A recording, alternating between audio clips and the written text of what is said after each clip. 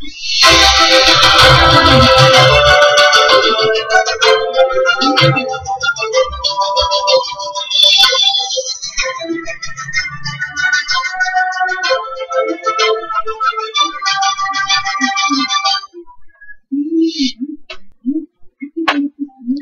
day.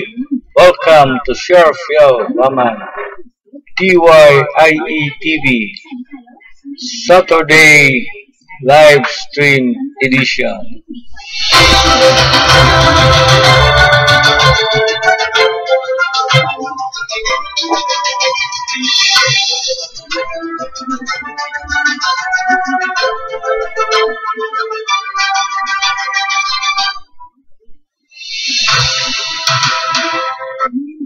Kayo ay bago sa channel na ito, huwag kalimutan mag-subscribe at mag-click ng bell button para sa mga notification updates.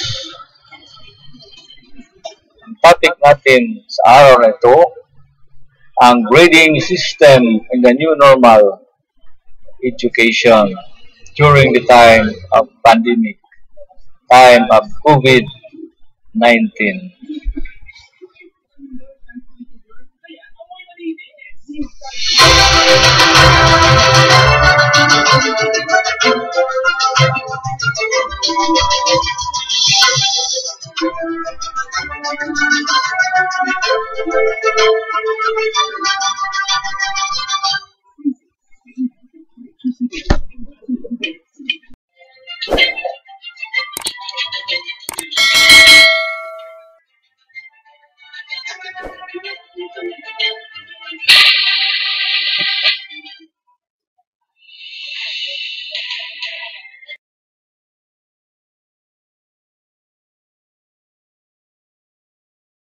to business. The topic natin ngayon is about the order number 31, series 2020, dated October 2, 2020, entitled Interim Guidelines for Assessment and Grading in Light of the Basic Education Learning Continuity Plan.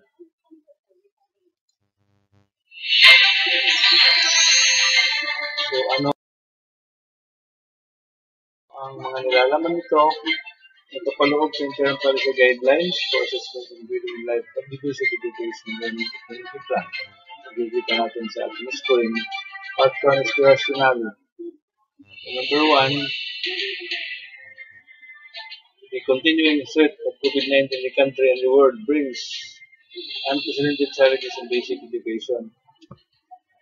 So, schools prepare for school 2020-2021, teachers and parents must adapt to alternative learning modalities to ensure that learners achieve essential curricular goals. So, yun. As is stated in the order number 8, Series 2016, the policy guidelines and assessment for the K-12 basic education program, assessment should be used to inform and improve classroom practices and promote learning outcomes. However, in, in distance or blended learning environments, it is necessary to utilize alternative tools and strategies for assessing and supporting learning while avoiding creating undue pressure on the teachers, learners, and their families. So, ibig sabihin nito na yung Deputy 25, uh, number 8, series 2016, para yun, applicable yun, most social during face-to-face instruction. Pero ngayon ay pandemic time, COVID-19 time. Mayroong alternative tools and strategies for assessing. So, sa pag-grade. So, part 2 ang scope. Anong nilalaman sa scope? Repeat order provides for the interim policy guidelines for assessment and grading in light of the basic education learning continuity plan. That will be implemented for both public elementary and secondary schools nationwide. So this is for 2021. Kasama rin dito yung sa mga private schools at saka sa higher education.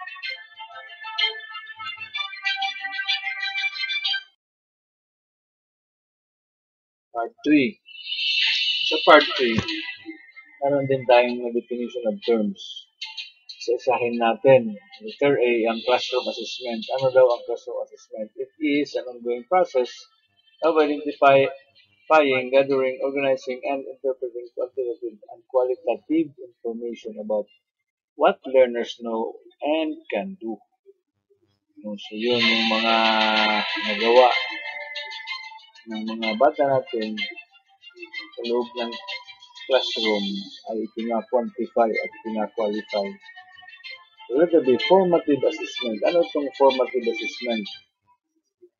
It is a process that involves teachers using evidence about what learners know and can do to inform and improve their teaching. So meaning, ginagamit ng ating mga guro ang evidence. Evidence that the learner, ang ating mga bata ay natuto para malaman kung kailangan bang improve ang pagtuturo sa kanila. So, ang possession na ito, process to the teacher's immediate feedback. Enables students to take responsibility for their own learning and identify areas where they do well and where they need help. So, ang konkretong halimbawa dito is that halimbawa kung pagbabasehan natin ang numerical figure, halimbawa ang isang bata ay nakapag-grade lang ng 75, meaning medyo kulang yung outcome, yung output niya.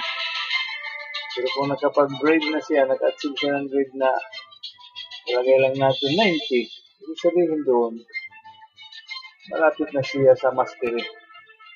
Yan ang konkretong halimbawa dito sa formative assessment. Sa summative assessment naman, ito is an assessment that is usually administered toward the end of a learning period to measure the extent to which the learners have mastered essential learning competencies, the results of which are recorded and are report and are used to report the learner's achievement. So, summative assessment, mag kaiba pa ito dun sa isa kanina yung formative assessment. Ibig sabihin ng summative, ito ay ina-administer o binibigay toward the end of the learning period. So, naalala natin na meron tayong first reading, second reading, third reading, and fourth reading. So, pag tapos na yung yung period ng first reading, magbibigay tayo ng dati ng periodical test. So, yun ang summative assessment. Balikan natin ang formative assessment, yun ang mga test na binibigay, kunyari, pagkatapos ng isang lesson sa isang subject, sa isang araw dati. Yun ang sa formative assessment. Sa summative naman ay yung kabuuan sa isang quarter. Kailangan malaman natin yan. Yung, par, yung number, uh, letter C, ano ibig sabihin ng grading? Grading, yung paggagrado, pagbibigay ng grade sa bata, is a way of reporting assessment data by assigning a value to the results as a record of students' ability, achievement, or programs This is embodied Association for Supervision and Curriculum Development Series 2020. So, yung, pag, yung grading, yung grading or grado, paggagrado ng bata, isang paraan na makapag-report, no, na may report na ito yung nagawa niya. Ito ang ito ang nagawa niya, ito ang naging improvement niya. So, yun. So, maliwanag tayo dito sa definition of terms. Tuloy tayo.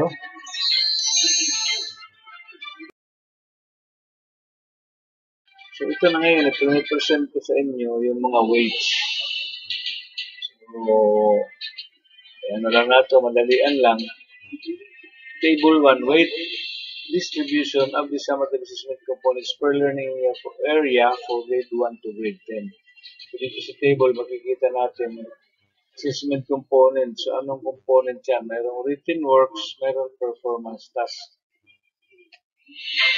Uh, written works, alam naman natin ito, ito yung mga ginagawa nilang um, pag-a-answer sa mga lessons. So, nakapaloob ito sa languages. Anong languages? Ito ay English at saka Filipino. Meron panlipunan, saka yung pagkatao, meron siyang pag languages ha, 40% written works, 60% naman sa performance task. So, kabuuan yan 100%. So, ang weight naman sa science at saka mathematics iba. 50% sa written works, 50% sa performance task. So, 50-50 sila. Kabuuan pa rin yan ay 100%. Dating naman sa MAPI, EPP at TLE. Ano itong MAPI? Ito yung Music Arts PE. EPP ay yung nagagarden. Yung TLE naman sa Industrial Education. So, ang written works naman is 30%. Performance task ay 70%. So, dapat alam natin ito mga ka-parents din para hindi tayo malito. malito. Itong second table, lang na lang natin itong talakayan dahil iba ito sa high school. Rin naman sa atin. Hindi tayo, stage.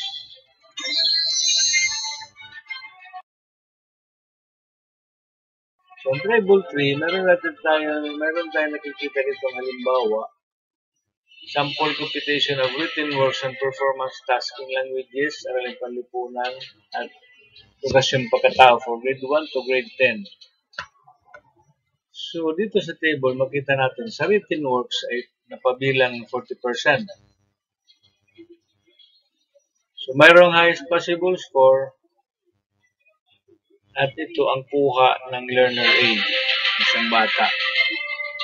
So, sa, sa, sa written works, mayroong first quarter, second quarter, third quarter, at fourth quarter. Ito yung ibig sabihin nito, 1, 2, 3, 4. May total siya, may siyang possible score. May possible, yes, uh, possible score. At may weighted average. So, dito lang muna tayo sa written works.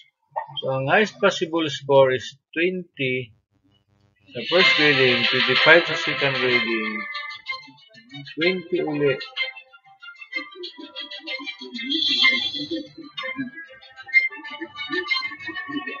Twenty ulit sa third grading, 20 ulit sa fourth grading. Kabuhan sa total na 85. Kasi, ang possible score is 100. So, weighted average na is 40%.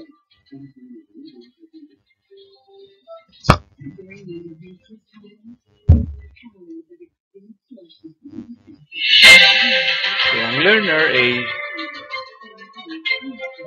ang nakuha niya, ang kuha niya, ito lang. Sa first grading, 18. Sa second grading, 22. Third grading, 20. Sa fourth grading, 17. So, ang naging total niya is 77. Ang naging possible score niya is 91. Kaya ang kanyang weighted average ay 36.4%. Okay. Tutuloy tayo dito sa performance task which com compose 60%. So, ang mga possible, ang possible score is 16 for the first grading, 2 para second grading, 3 sa third, uh, 25 sa third grading, 20 naman sa fourth grading. Possible score kala lahat is 75. Ang total na lahat ng points is 75, possible score is 100. So, weighted average niya is 60%. Ito na. Pero ang kuha ni learner A sa first grading sa performance has only 12 points, second grading 13 points, third grading 19 points, fourth grading 15 points. So, naging total is 56, of which 75%. So, kinuha doon sa allotted na 60 ay 75 point possible score. Ang naging percentage na weighted average is 45%. So, ang kabuuan nitong 40 at saka 60% ay 100 initial grade.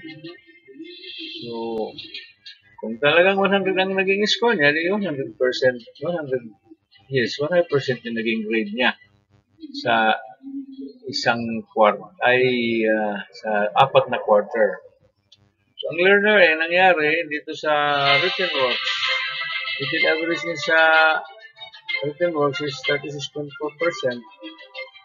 At saka yung sa 6, ay sa performance task is only 45%. At kabuuan is 81.4. Hmm, So, based dun sa transmutation table, ang 81.4 niya na initial grade ay transmuted into 88%. So, ito yung final grade niya, 88. So, ito, meron ding sample dito sa math and science. Ano na lang ito sa yan? Next page tayo.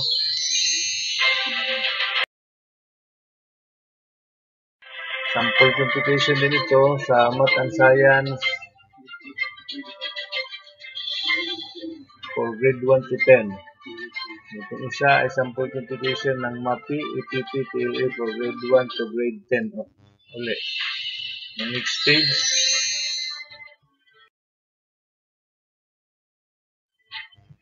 Sample computation in MAPI, TLA for grade 1 to 10.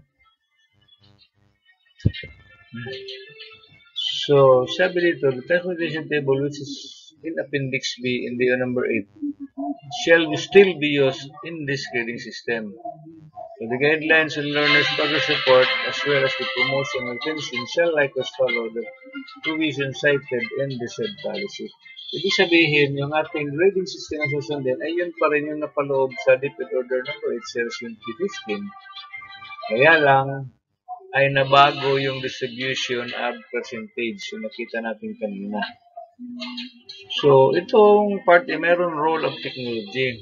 Nasabi rito na ang technology plays a substantial role in helping teachers in the development, communication, implementation, grading of assessment task. A matrix of sample tools organized by low, medium, and high technologies provided in Annex B. So, ibig sabihin na malaki pa rin ang may tutulong ng technology o yung kaalaman sa computer para sa ating mga kaguruan. Okay, tayo.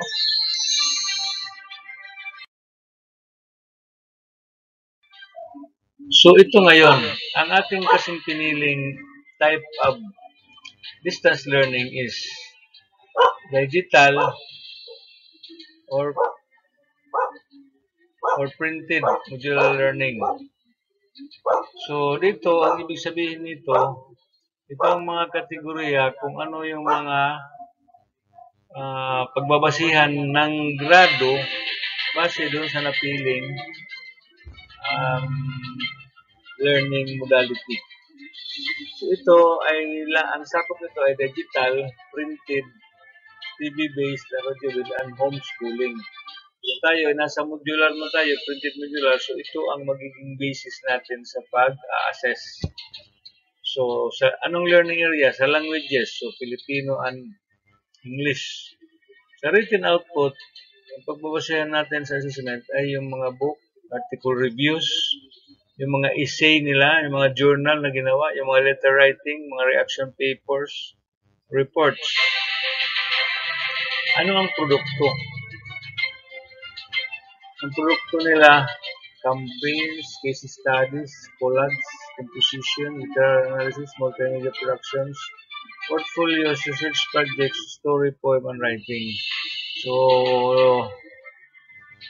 uh, this involves mga pagsusulat ng bata. So, yan ang written outputs. Sa performance task naman, kung nagkapaggawa silang interview, paggawa silang multimedia presentation sa computer din, sa project making. So, yun ang performance task. Sa mathematics, ano yung written work? So, data recording and analysis. Yung po po, nag-answer yun, yun nag-answer sila ng mga equation. Geometric and statistical analysis, graphics, charts, or maps, problem sets. Yan, problem solving. Then, di uh, di uh, diagrams, mathematical investigatory projects, models, making models, geometric figures, then number. So, ano yung performance task? Construction of graphs and essay, multimedia presentation, outdoor, math, and probability. Parang mas ano to sa high school. Next page tayo.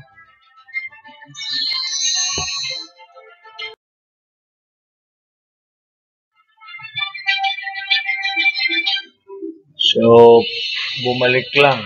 Halos pareho ang laman.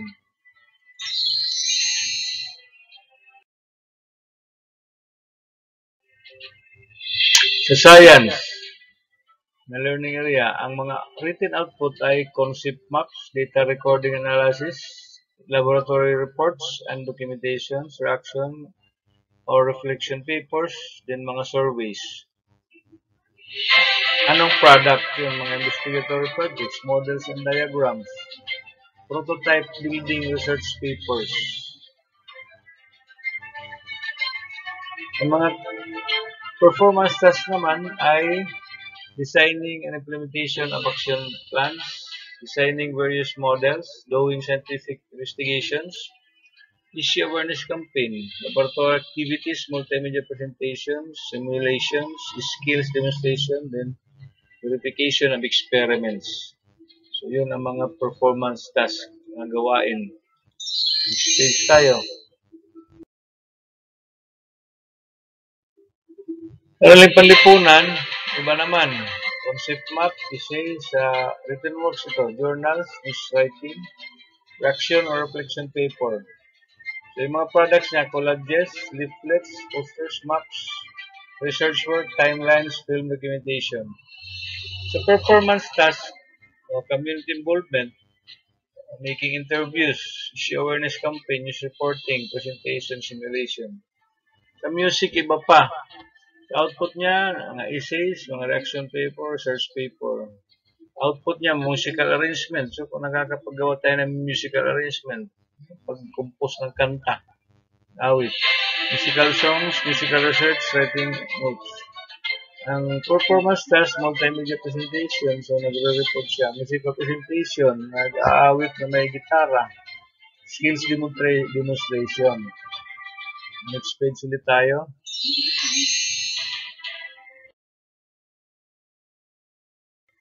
Music art. Sa art, iba naman. So, essay, reaction, paper, research paper. So, may art exhibit siya sa product, portfolio, and art projects. Sa performance task, art, production, multimedia presentation, skills demonstration, coloring, painting. Physical education, iba pa. Reaction paper din, then article, journal review, then mag personal exercises. Page tayo.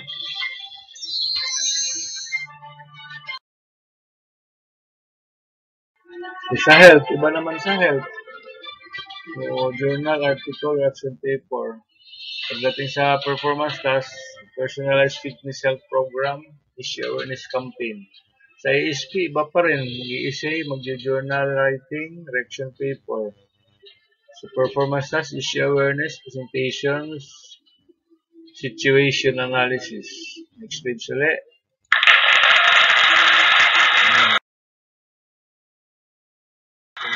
Next page natin. Edukasyon, pagkatao, tapos na. Dito tayo sa PEPP. So, kung sa written works, essay, diagram, work designs. Dating sa output, technical drawing, products using locally available materials. Sa performance task, skills demonstration, oral test, design, diagnosis, and repair damaged equipment.